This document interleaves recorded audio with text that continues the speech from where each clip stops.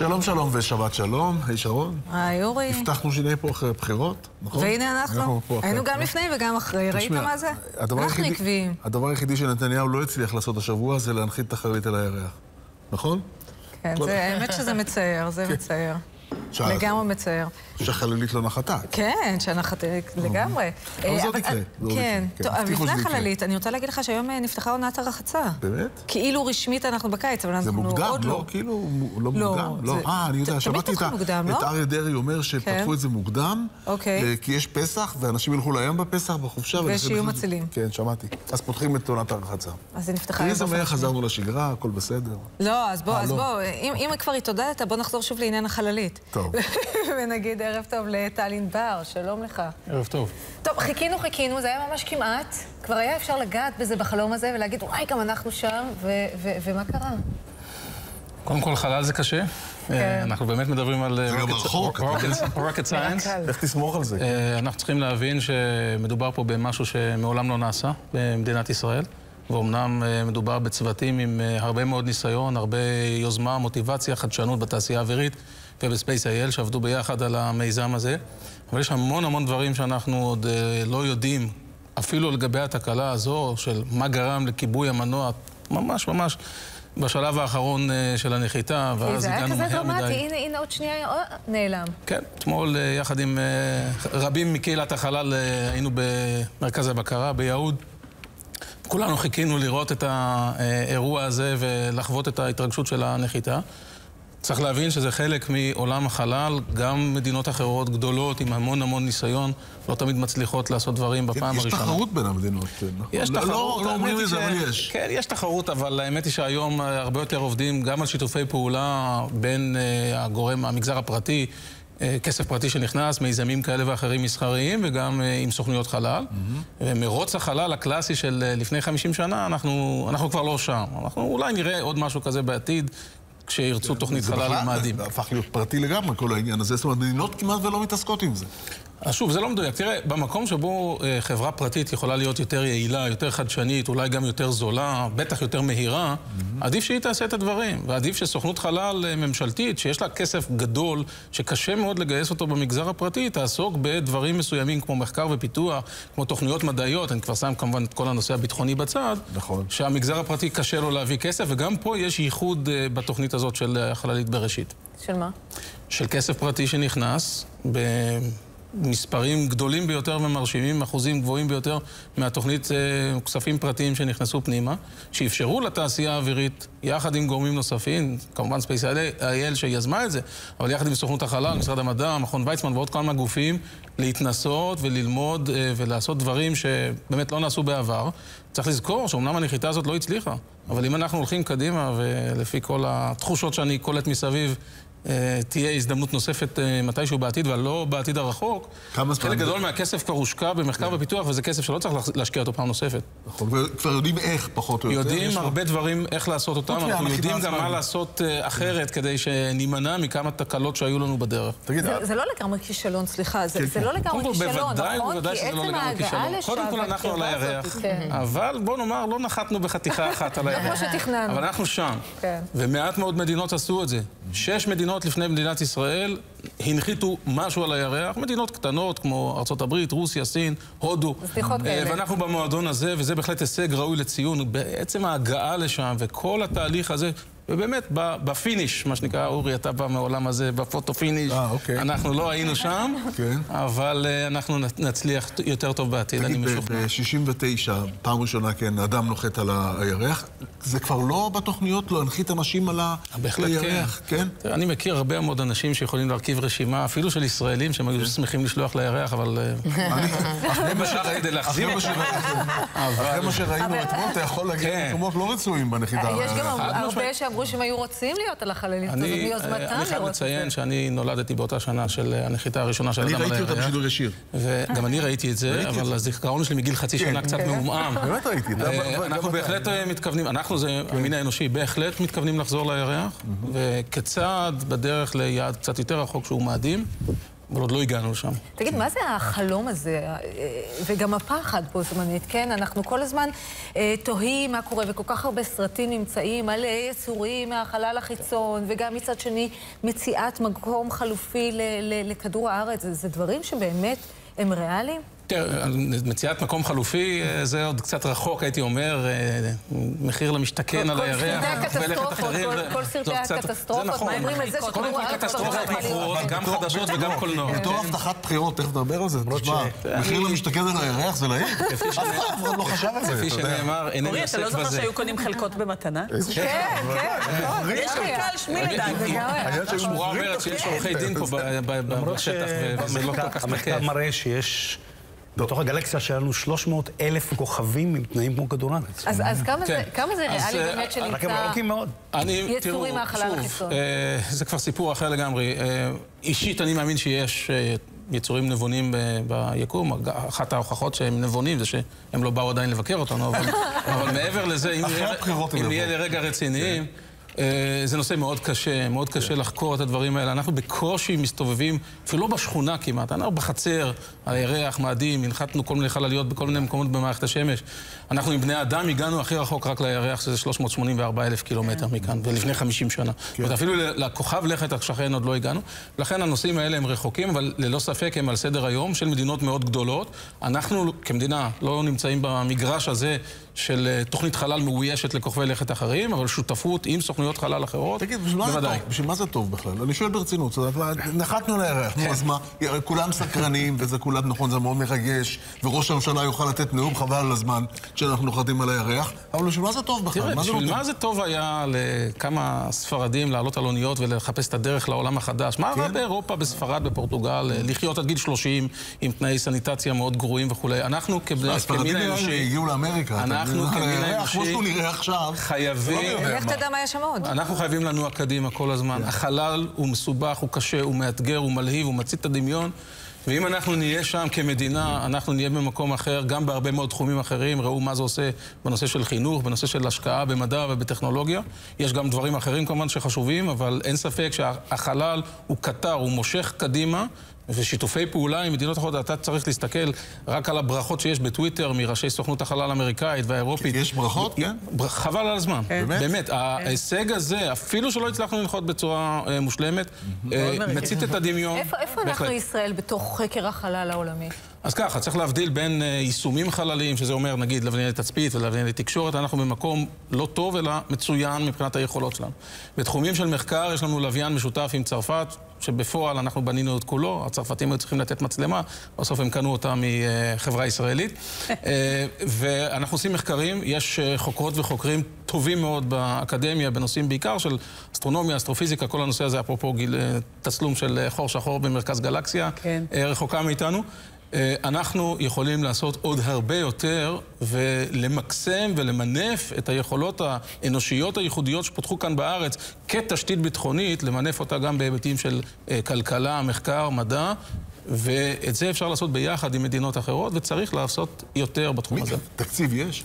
יש תקציב, הוא אף פעם לא מספיק. לא, זו שאלה שאנחנו תמיד שואלים, אכפת לי לשאול אותה גם פה, נו? תראה, אף פעם התקציב לא- הוא לא מספיק, ובתור מי ש... אני משלם את התקציב הזה מכספי המיסים, אתה יודע, זה חלק... כולנו, כולנו. כולנו, חלק קטן מאוד. אבל אה, תמיד אפשר לעשות עוד, ואין ספק שהמיזם הזה מראה שכשיש יעד טוב, מטרה ברורה ומושכת, אפשר להביא גם משקיעים פרטיים. זה יכול לבוא מהארץ, זה יכול לבוא מחוץ לארץ, ובאמצעות שיתופי פעולה, אה, מדינת ישראל תהיה במקום עוד הרבה יותר טוב ממה שהיא יכולה. טוב, טל, הרבה תקוות, אז תודה רבה. תודה לכם. תודה על השיחה. עכשיו נדבר על פוליטיקה, נכון? היה יותר מעניין לדון בבראשית, אני מוכרחה לומר את זה בתור... אה, כן. אבל כאילו, זה רק אני. כן, זה כן. נכון, זה מעניין. יש לנו חברת כנסת חדשה כאן, שתכף נדבר איתה. בטח. אה, טוב, בואו נציג כן, אה, את הפאנל שלנו. חברת הכנסת לשעבר, זהבה גלאון, שלום שלום גברתי. שלום. תכף נדבר על מרץ. השר לשעבר, מאיר שטרית, שלום אדוני. שלום אורי, שלום. עדיין חברת כנסת, נכון? איילת ורבינה. מאתרגת, מתרגלת לה לשעבר, אבל... כן. ותכף נציג גם... זה עתיד לשעבר. כן. נציג גם את אה, קרן ברק. איך זה נקרא, קרן? אה, אה, חברת כנסת נבחרת? כן. שנבחרה, אין לזה הגדרה, כן, נכון? כן, נבחרת, כן. זה נגמר. לא, צריך לעבור את ההשבעה בשביל... חברת כנסת לא, נבחרת. לא? אוקיי, בסדר גמור. לא, נבחרת לכנסת. בסדר. כן, נבחרת לכנסת. זה לא כל כך חשוב, זה סתם אוקיי. סוג של מסקרן. טוב, בואו בוא נתחיל. נתחיל איתך, זהבה. כשראית את התוצאה, זו הייתה הפתעה בשבילך? אתה מדבר על התוצאות, הכלל... כן. אתה מדבר על התוצאות הכלליות. נכון. אה, מדבר על השורה התחתונה, כן? אה, בעיקר התבאסתי, אני חייבת להגיד לך. כן. אני אומרת את זה. מה כבר לא אמרו על ראש הממשלה? שלושה כתבי אישום על שוחד, הסתה, דיבה, השמצות. אבל אמרו עליו גם שהוא איש מאוד חכם, ופוליטיקאי... תראה, תראה, דבר אחד, תראה, דבר כן. אחד אי אפשר לקחת מבנימין נתניהו, ואני מציעה שגם היריבים שלו לא יעשו את זה. כן. הוא אדם מוכשר, הוא רהוט, יש לו מעמד, הוא חכם, והוא משתמש בכל התארים של...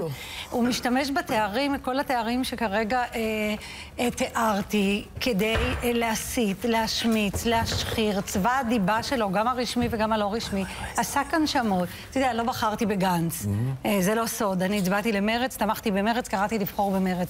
לקח רמטכ"ל, הפך אותו לחולה נפש, שום דבר לא עמד בדרכו, הוא לא ראה בעיניים ולא ראה ממטר. Mm-hmm. ומה שמבאס זה שהולכת להיות לנו קואליציה אה, ימנית, משיחית.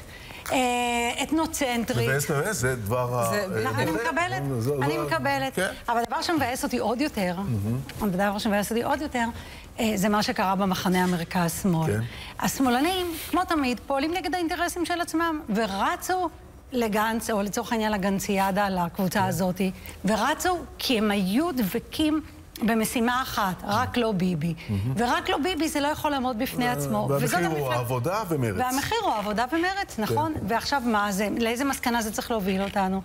איזה דבק יהיה שם בכחול לבן הזה? איזה דבק אידיאולוגי? מה יוביל אותם? רק לא ביבי, כמה זמן זה יכול להחזיק?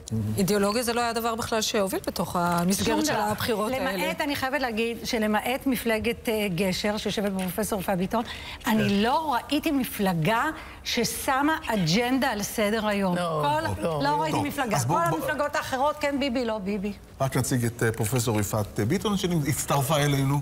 שלום, אה, תודה. גשר, אבל מה לעשות? גשר זה לא... לא עבר את הגשר. אוקיי, כן, לא עברה את אחוז החסימה. קרן, אנחנו נותנים לך את ההזדמנות להשיב לדברים של זהבה גלאון. קודם כל, מה שמפתיע אותי בשיח בכלל של... של המחנה השמאלי, שהם הם, הם מדברים, הם, השפה, המדיום הוא המסר בעיניי, השפה הזאת של השנאה, הסתה, הקצנה, נכון. באה מפיהם, והם מאשימים, זאת אומרת, הטונים של השנאה, אתה, אתה מרגיש את ה... הרי בסוף הם אלה שלא בחרו אה, אה, בבנימין נתניהו או במחנה הימין, בגלל מה שהם טענו, אבל השנאה האמיתית שיצאה, יצאה מהמחנה השני. כן. זאת אומרת, ההצבעה הזאת הייתה נתניהו או לא נתניהו, גם... אהבה גדולה לנתניהו או שנאה גדולה לנתניהו. נתניהו, ובסוף כל האמוציות, השנאה, הקנאה וה, וההסתה יצאו מהמחנה ההוא, והאבסורד הוא שהם כל הזמן תקפו שהם לא רוצים את הליכוד בגלל הדברים האלה, והמדיום הוא המסר. אבל גמרנו, לא, גמרנו, לא, אבל גמרנו את מערכת הבחירות, נכון? גמרנו. אפשר לרדת כן. מהעניין הזה, גמרנו. אני הייתי שם בערב הזה, סליחה, עוד שנייה אחת, שרון, בערב הזה ש... אה, נפגשנו אפילו. נכון, לפני שנתניהו הגיע, הייתה תחושה, ואני יודע שהרגשתי את זה היטב, הייתה תחושה שזה לקראת כישלון. הייתה בשעות... לא, לא. אני הייתי שם, נפגשנו שם. אני דיברתי עם אנשים שם. שאמרו, שזה נראה נורא, אפילו יש, בהמשך נראה כתבה, אה, אה, חבר הכנסת אוחנה אמר, אם אנחנו אה, שלוש לכחול לבן, מצבנו גרוע ביותר. כולם היו עם הפנים למטה. טוב, ראש הממשלה... ופתאום הכל התעורר. אוקיי. אז, אני, אז אני, אני הייתי שם, כן. אני הרגשתי תחושה הפוכה לחלוטין. אבל כבר, כבר במדגמים... כנראה תלוי באיזה שעה. לא, כן. כבר במדגמים, כבר במדגמים, הרי ראינו את שלושת לא, המדגמים לא בו זמנית. וכבר במדגמים, אני לפחות בראייה המושכלת שלי יכולתי לראות שהמספרים של, של אה, מינה צמח ומנו גבע לא מסתדרים עם מה שהם אומרים, ואי אפשר גם להגיד שוויון כשאת כל הזמן סופרים את המפלגות הערביות כאילו הם חלק מקואליציה של צד שני. לא, הם לא חלק, הם לא יכולות להיות חלק. כן. הם לא יכולות להיות... במפלגות ובמספרים, במספרים... לא, שוויון בין בגרם, המפלגות. לא בין הגושים. אני מדברת. אז אני דיברתי בין הגושים. המספרים שם, כבר. גם בתוצאות של, של אה, ערוץ 12 יכולת לראות שניצחנו. זאת אומרת, אני לא יודעת על מה אתם מדברים. בכל, בכל מדד שלא הסתכלת, המספרים לא הסתדרו, ואני אומר יותר מזה. אני גם. ראיתי את, האבסורד של הנאום, ישבנו שם וחיכינו הרבה מאוד זמן אה, ש, שראש הממשלה יגיע, כן. וראינו את ה... והיה לנו זמן להסתכל כל אחד בטלפון שלו לנאום של גנץ, ואני מודה שאני לא הב- הבנתי מה הבן אדם הזה עושה. לא יכולתי להבין איך בן אדם סביר יכול לעלות על במה איזה, איזה עצות. הרי זה היה ברור שיועצים האסטרטגיים שלו אמרו לו לעשות את זה. מה הם חשבו? שאם הוא יתקע יתד ויגיד ניצחתי, אז המנדטים שלו אבל יעלו, אבל הרי זה- הוא אבל היה גם ברור שהוא פטנט של מפסיד. נתניהו היה לפעמים. ברור שהוא מפסיד. גם? פטנט של נתניהו הדברים, האלה, ולבוא להגיד אני ניצחתי, הוא עשה את זה כמה פעמים. את יודעת איך לא עשה את זה? נכון, לא נכון, אתה לא... נ- נתקעים אין בזה יותר מדי בדברים האלה, אנחנו לא. נתקעים יותר מדי, כי אני אומרת לך, הילד זה היה בזמן אמת, זה לא בדיעבד אני לקחת את זה, הסתכלתי ואני אמרתי. כיצד זה יכול להיות? הרי לא- הוא מפסיד. לא קובע מה, בשום אם הוא יגיד צורה. שהוא ניצח, אז הוא ינצח? הרי אני הוא רוצה- מפסיד. יש עניין של קיבוע תודעה, זה עניין של תפיסה קמפיינרית. לא קרה- קיבוע לא תודעה של מה? מה זה עוזר לך? אני רק רוצה להגיד שאני. דיברתי על הדקות שלפני המדגמים. כן. בדקות שלפני המדגמים הייתה אווירה מאוד אה, אז אני מאוד... לא יודעת אם הם מדגמים, הייתה בסדר. דאגה עצומה. זה נכון כן. שאת את הלחץ שראש הממשלה, הוא לא פסח, זאת אומרת, זה לא הייתה הצגה. הלחץ של ראש הממשלה, שב- שבאמת ב- ב- בערים שמסומנות יותר אה, שמאל, אחוזי ההצבעה גבוהים יותר לעומת הערים שמסומנות ימין, זה היה לחץ אמיתי, הוא הוא עבר אוקיי. אלינו, הוא- זה לא הייתה הצגה עבורנו, וכך הוא נתן אוקיי. להרגיש במהלך אותו יום. הצגה אה, משוחקת. טוב, אבל אנחנו אחרי הבחירות. אה, מאיר שטרית, מה מה התובנות שלך לגבי הבחירות האלה? כמה הערות. אחת, אני חושב שצריך לומר את זה, שהגענו כמעט לאותו מצב, רק מצב הרבה יותר גרוע. זאת אומרת, הקואליציה שתקום עכשיו בהרכב שלה, אם נתניהו יקים אותה רק עם הימין, ולדעתי הוא יהיה בבעיות מאוד זה גדולות. כבר לא איים, זה די ברור. כן, אני- זה- על זה היו הבחירות, מאיר. מציע... על זה היו הבחירות. לא, רגע, רגע, כן? רגע, מאיר. אל תפריעי לי. הערה אחת, אני אומר, אם, חזר למילה אם, אם נתניהו אכן יחליט להקים את הממשלה רק עם הימין, לדעתי אגב הוא יעשה טעות חמורה ביותר, אני במקומו. מתחיל את המשא ומתן דווקא עם גנץ ולא עם הימין. אבל זה מהיכרותך איתו, רגע, הוא יתחיל את המשא אני- ומתן אני אגיע עם לשם, גנץ? אני אגיע לשם. יש, אה, זה ישיג לו שני דברים מיידית. אחד, ברגע שהוא מדבר עם גנץ, ולא חשוב מה. גנץ יגיד, אוטומטית, כל הדרישות של כל המפלגות שעכשיו כל אחד רואה בעצמו אבו עלי, ירדו בצורה דרסטית. שניים, אני באמת מאמין שהדרך היחידה לצאת טוב מהמצב הנוכחי, ושזה לא יהיה ניצחון פירוס, אלא להגיע למצב שבו תקום ממשלת אחדות לאומית. בין הליכוד לבין גנץ, בצירוף של אחרים, אבל הכוח שלהם הוא קטן מאוד.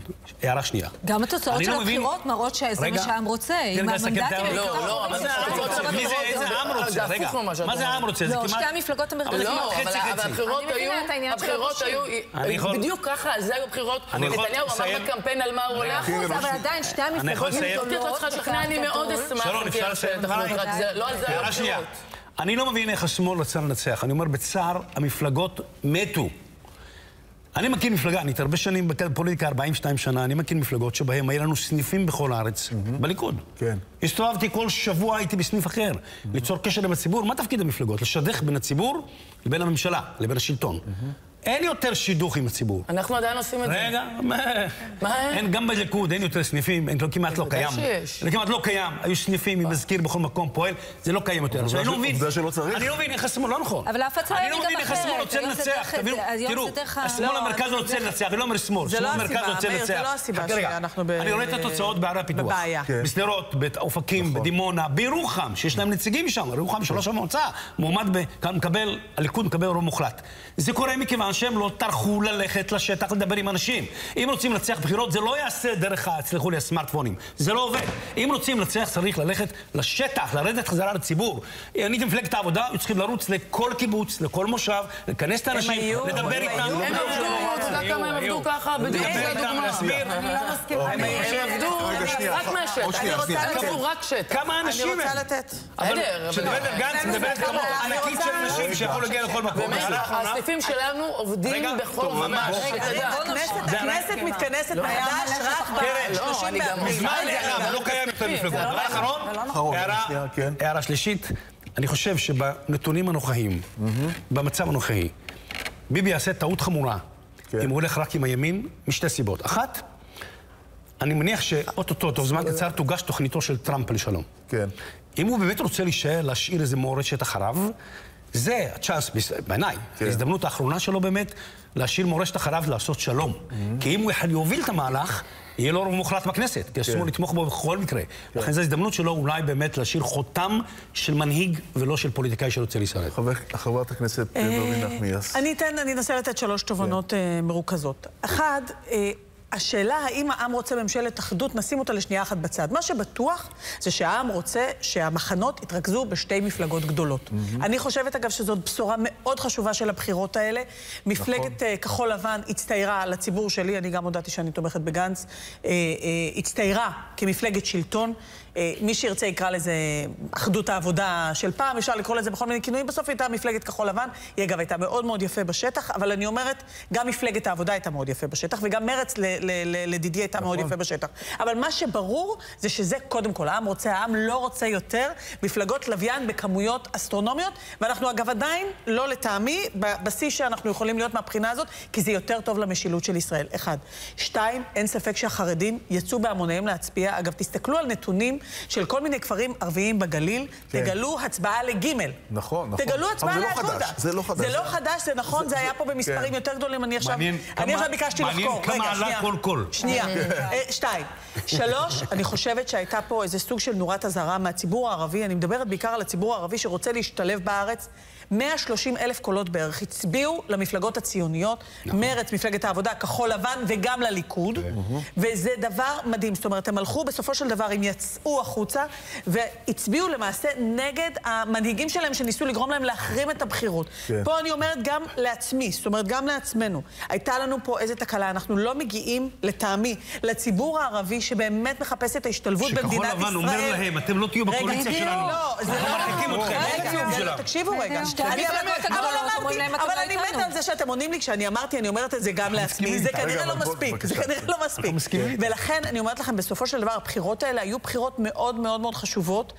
אני מסכימה, אגב, עם מאיר, אני אגיד לכם יותר מזה. אני חושבת שיהיה לחץ מצד האמריקאים, מצד נשיא המדינה, אני יודעת בוודאות, כן. שהולך להיות לחץ על ממשלת, ממשלה רחבה. אני חושבת שזה בין היתר הסיבה מצד שהנשיא... מצד נשיא המדינה. שהנשיא, כן, שהנשיא כן. באומץ רב הודיע שהמפגשים עם הסיעות יהיו אה, משודרים באופן פומבי. שזה מדהים. אני הייתי במעמד הזה, על זהבה כן. הייתה במעמד הזה, אני מניחה שמאיר היה במעמד הזה. כן. לא, זה חידוש. זה היה. לא, אתה לא זוכר? שזה שודר? לא, שזה היה פומבי? הוא מדבר על שידור ישיר, זהבה. מעולם לא, זה תמיד בחדר של הנשיא. מה, שבאים וממליצים... שבאים ועושים... לא עושים משאים ומתנים עם הקואליציה. לא, לא, לא, לנשיא.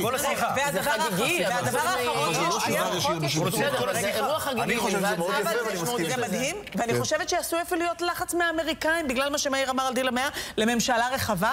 וצריך להגיד, הדבר האחרון פה, mm-hmm. זה שיהיה מעניין לראות את המשאים ומתנים הקואליציוניים, לראות מה אה, נתניהו מבקש להכניס מבחינת הנושא של החסינות. טוב, בואו נצטרף לשיחה את פרופסור יפעת אה, ביטון. אה, טוב, בואו נשמע את ה, את ה, באמת את מה, מה את מרגישה. לא, טוב, גשר... גשר מאחורינו, נכון, אין מה לעשות. גשר, אה, כן. לא מאחורינו, גשר איתנו. לא, מאחורינו בבחירות האלה, זה נגמר. כן, זה נכון. כן. אז, אה, אז קודם כל, אכן, גשר לא עברה את אחוז החסימה, אבל אני חושבת שגשר אה, הציגה איזשהו חזון שהוא מאוד מנוגד למה שהציגה פה אה, איילת בעיניי, ואני במובן הזה חותרת תחת הרעיון של שתי מפלגות נכון. ש... שהתקבצו סביבם, כי מה שזה עושה זה בעיקר מרבה ריב ומדון. אה, יש פה איזשהו זיהוי דמוגרפי מאוד מובהק בין שתי הקבוצות האלה, ו... ואני חושבת שמה שאנחנו צריכים זה פיוס ושלום. אה, הדבר הזה של, של לייצר ממשלת אחדות מתוך מאבק כזה, כמו שאמרה פה קרן, אני אומרת, לדעתי זה כמעט בלתי אפשרי, כי על זה היו הבחירות, וזה כל הקושי והכאב. כן. וגשר הציע פה איזה היה. משהו אחר. היא הציעה שלא נדבר עוד כישראלים בפוליטיקה. פוליטיקה דרך כן. ימין או שמאל, אלא נדבר דרך דלת נפרדת, אחרת, שמדברת על החיים האזרחיים שלנו כאן. אז במובן הזה, אני חושבת שגשר היא הצלחה מטאורית עם העשרות אלפים שתמכו בה, תמכו ברעיון הזה בתוך מלחמת העולם שהתנהלה פה, שהייתה מלחמת עולם רעיונית, אידיאולוגית וכספית, תקציבית, דברים מהסוג הזה. זה לא היה מספיק, זה לא הספיק גם לכאלה שכן צחקו את המשחק הזה בקצוות. זה לא הספיק גם לימין החדש, זה לא הספיק גם לזה. תכף נדבר על הימין החדש. שבאמת, גשר, באמת, כמו שאמרת קודם לכן, ברור פרקטיות לגבי הרבה מאוד דברים, עם אג'נדה חברתית מאוד ברורה, וזה לא עבר. אז אני, שוב, אני חושבת שמה שחשוב להבין זה שגשר היא לא איזה מפלגת מרכז, אלא היא מפלגה, היא אפילו לא, במובן הזה היא גם לא כולנו שאומרת, אני ימין חברתי. היא לא מוכנה לשחק את המשחק, היא אומרת רק חברתי. אבל אולי זה פגע בכם. רק שנייה, ילד. במובן הזה, זה רעיון שלא נשמע פה קודם לכן, ובתור רעיון שלא נשמע פה קודם לכן, בשדה הקרב המטורף שהיה פה, להגיע עם תוצאה של 75 אלף אנשים שתמכו בזה והאמינו וסרבו לכללי המשחק הקיימים, אני חושבת שזאת הצלחה. מה שלום, מדהימה, אבל מבחינת המנדטים, אין ספק שהיה... אבל זה גם... אז אני לא חושבת שלהגיד, הרעיון הזה נכשל, אני חושבת שבכלל... לא, בוא ננסה להגיע... הרעיון הוא רעיון מצוין, אבל... הוא גם לא נכשל. לא, לא, אני רוצה לשמוע... לא, אבל בסופו של דבר, הציבור כן הצביע ימין או שמאל לצורך העניין, והחליט שזה מאוד עצוב. דרך אגב, אני מסכימה איתך, זה מאוד עצוב. זה מה שקרה, זאת אומרת, הציבור בסוף הולך לדברים האלה. הישג אדיר. לא לא נכון, לא, לא, אולי לא מדבר. אני חושבת שזו טעות. לא, אבל דיברתי... אולי יבשיל לפעם הבאה. לא התרסקו. אני חושבת שאבוי לנו ואבוי לנו יפעת, הישג אדיר. יפעת, אני רוצה לשאול אותך על אורלי. נגיד על ההתרסקות של החללית שזה הפסד, זה נורא מה שאמרתי, הישג אדיר, אבל לא שניים. דיברתי עם אורלי לוי אבקסיס, כן, שוחחנו, מה היא אומרת? שוחחנו. כן. אין איזה משהו שאפשר לומר מעבר לדברים הברורים האלה. היא שמה את כל יהבה על רעיון נפלא, על תקווה, על ערכים. בתוך המובן הזה, אני חושבת שאת התוצאה של המנדטים האלקטורלית במובן הזה, אפשר, את התוצאה המרה הזאת, אפשר להמתיק דרך ההבנה שעשית פה משהו שהוא פורץ דרך. וחוץ מזה, כמובן, זה לא תם ולא נשלם. זאת אומרת, זאת פריצת הסדק, וזה היה יותר מסדק. אין חרטה שלא התחברה לגנץ? לא, אין שם שום חרטה, וזה לא היא שלא התחברה לגנץ, אני מזכירה לכם שזה היה גם וגם, היה פה חוסר חיבור. כל אחד מכיר את זה. שנייה, שנייה, בוא נעלה על השולחן. מעלים על השולחן את ממשלת האחדות. אני רוצה להעיר כמה הערות. קודם כל, אני, ליבי עם אורלי, אני חושבת שהיא עשתה כאן מהלך מדהים. אורלי וכל ה... אני חושב שהחמצנו, מותר להגיד את זה עכשיו אחרי הפעם. החמצנו את אורלי. אורלי וכל הקבוצה שלה. פעילה. ואני רוצה להגיד עוד משהו, היא עוד לא אמרה את המילה האחרונה, אז בואו, זה דבר אחד. אני רוצה לכפור, אני אומרת את זה, אני מסתכנת פה לימיני, אבל אני רגילה לצורך העניין. אני ממש מתנגדת להצעות האלה לקריאה לממשלת אחדות. אתם, כאילו, מי לא קורא פה את המפה הפוליטית? קודם כל, אני מתנגדת לזה. אבל אני רוצה להגיד... למה? למה את מתנגדת? אני אנמק, כי זה כוח גדול. אני אנמק. אני אנמק. יהיה משעמם. אני אנמק, הרי אני לא... אני אנמק, יש לי מחשבה סדורה, אני חושבת. באמת. אנחנו לא חושבים שלא. רגע. ראש הממשלה נתניהו הלך לבחירות רק למטרה אחת, לצורכי הישרדות. והקואליציה שהוא יקים, היא תהיה קואליציה, רגע, היא תהיה קואליציה אחת. זאת תהיה קואליציית חסינות תמורת החלת ריבונות. אחת יסוד מוטעית, את הרי יודעת שהיא מוטעית. אבל זה כשאת אומרת דבר כזה, את מבטלת את דעתו של ציבור כל כך גדול. אני לא יכולה להסכים איתי, אבל לא גמרת, אבל אני רוצה... אבל את לא נותנת לי לסיים את התזה, בכל הכבוד, את יכולה לא להסכים איתה, אבל זאת התזה שלי, זה מה שראש הממשלה רוצה. הלוואי שהוא לא ידרוש ראש הממשלה התחייב לסמוטריץ' ולכל החברים שלו על החלת ריבונות, ולכן אפשר לקבור, בכל הכבוד, את תוכנית המאה ואת הדיל האמריקאי של טראמפ. ראש הממשלה, הדבר היחיד שמעניין אותו זה איך הוא שורד ארבע שנים אחרת. אבל גם בגרסה שלך עדיף ממשלת אחדות. אני לא חושבת, אני לא מבינה. אם זאת הגרסה, אם את צודקת וזה כל כך אפוקליפטי, כמו שאת אומרת, אז אני עונה לך. התקווה היחידה היא לממשלת אחדות. בגלל שאני חושבת שאי אפשר לתת לגיטימציה לכנס לממשלה. זאת הבעיה. למה זה לגיטימציה? למה זה לא שמירת סף? שלושה כתבי אישום. למה את לא רואה את זה כשומרי סף של החברה הישראלית ושל מדינת ישראל? לתת לגיטימציה לראש ממשלה שיש שלושה כתבי אישום. על לגיטימציה, לא יעלה על הדעת. לא, אז מה את רוצה לעשות? לשבת מנגד לראות את הכל מתקדם? לא, להיאבק. אז אני אענה לך. יש העם. כן, לא, אני ממש... יש רצון העם שהעם... כי ממשלת בלם מול הדבר הזה. לא, ממש לא. יש רצון העם. להיכנס לממשלת... אז אוקיי, אחרי שכולכם אמרתי שאני מסתכנת, אז רק עוד שני עוד לא אמרנו כלום. כן, לא, היא אמרה, אבל... רק עוד שניהם, רק עוד שניהם. פה דו-שיח. בואו ניתן לה לסיים. הסחתם את דעתי, רק עוד שני משפטים. אני אומרת, אני מסכמת את זה. כניסה לממשלה עם ראש ממשלה עם שלושה כתבי אישום על שוחד, ואחרי מסע הסתה, זה מתן לגיטימציה לממשלה. הערה שנייה. אבל אין כתבי אישום, אפילו לא מדייקת. זה מעניין. סליחה, זה. קמפיין שלם זה נאמר. בסדר, רגע. אחד זה לא נכון. אפשר לתת לה מיעוט לדבר. זה סתם להטעות, זה כבר אי אפשר להטעות, כי הבחירות נגמרו, אז יש המלצה על שלושה כתבי אישום על שוחד. דבר שני אחרון, ודבר אחרון. אומרים לנו שלא מצליחים להבין. ברור. לא, כי פה... כי זה לא נכון, כי אנחנו לפני שיעור, אפשר להגיד? גם לאבד את המצב החוקי, אבל אי אפשר להגיד. אבל דקה שנייה. אתה רוצה שאני אגיד אותך לדודי? דקה שנייה. אפשר להגיד? לא, אני רוצה את המשפט. אני רוצה לסיים את המשפט. והדבר האחרון, הכנסת הופכת להיות לא הזירה היחידה להתמודדות ולהתנגדות. ותהיה התנגדות של החברה האזרחית, ותהיה כאן חברה אזרחית חזקה, כי מה שהולך להיות בכנסת הזו, מה שנקרא read my lips, אתם תראו. אוקיי, אני רוצה להגיד. כן, מר שטרית. אני כמובן מתנגד, אני מתנגד לדברים של חברתי, ואני רוצה לומר, אני חושב שאת טועה, גם בצד החוקי לגיטימי, ראש הממשלה עוד לא עמד לדין. הוא אולי בדרך, ועל פי החוק הוא עדיין יכול להיות ראש ממשלה, ואין סיבה בעולם כרגע לפסול אותו, ביום, ודווקא. אחרי הסתה, רגע, רגע, אחרי הסתה. רגע, רגע, אחרי שיגמר, נגיד, אם היה, אם תקום ממשלת אחדות, א', זה מבטיח שממשלה כזו לא תעביר לא חסינות, לא חוק פסקת הגבלה, לא תעביר הגנה על ראש הממשלה מפני העמדה לדין. ראש הממשלה יחויך. ממשלת אחדות מבטיח. ודאי. דווקא העניין הזה יראה שראש הממשלה, אם הוא ירצה, יוכל ללכת, להיות ראש ממשלה, למה ללכת לדין, להוכיח.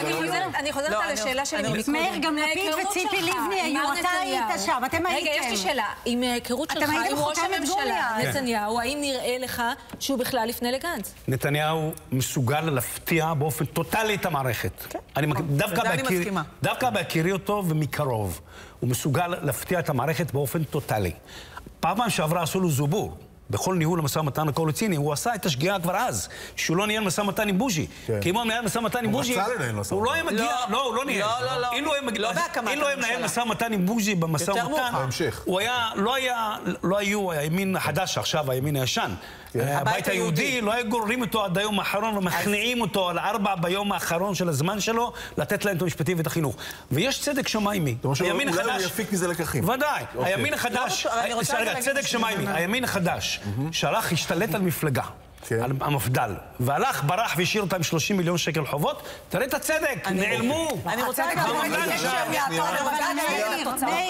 ב-2013 אתם הייתם בממשלה, חצי משפט, הייתם בממשלה של נתניהו, ציפי לבני ויאיר לפיד, ואתם הלבנתם את הממשלה הזאת, כי נתניהו פרפר אתכם על האצבע הקטנה, למה ציפי נעלה משא ומתן לשלום?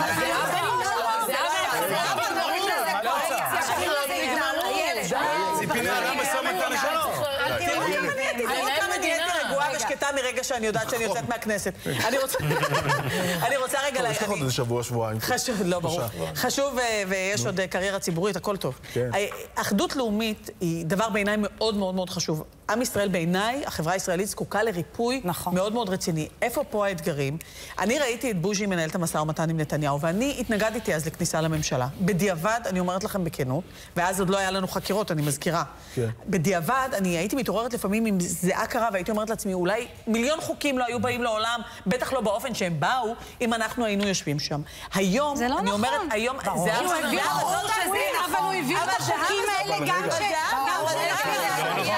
זו דעתי על הוא לא העביר אף חוק, זה לא נכון. רגע, אני רוצה לסיים. אף חוק הוא לא עבר. אני רוצה רגע, עכשיו, ביבי, בזמן שהיינו בקואליציה. מאיר, מאיר, השאלה, בתור המיעוט, אתה לא מקשיב. השאלה... צודקת. השאלה היא עכשיו, האם בסיטואציה בכל זאת שנוצרה, הגם שלא הוגשו כתבי אישום, ואנחנו על סיפו של שימוע, ויתחילו לצאת החומרים, האם אפשר יהיה לקיים ממשלת אחדות לאומית? ואני רוצה להזכיר גם את נושא הצוללות. כי אחת הדרישות של כחול לבן, המוצדקת אגב בעיניי, הייתה שלנושא הצוללות תוקם ועדת חקירה ממלכתית. אגב, לא רק לעניין של ראש הממשלה. זאת פרשת השחיתות, גם אם ראש הממשלה לא מעורב, בסדר? פרשת השחיתות הגדולה בתולדות מדינת ישראל. כן, אבל כחול לבן מכוונים לראש הממשלה. לא, אבל אני אומרת... זה היה והדברים נכונים, זה פרשת שחיתות וראש הממשלה איננו קשור אליה. איננו קשור אליה. גם אם הם לא קשור לראש הממשלה. לא רק אני קבעתי, כולם קבעו.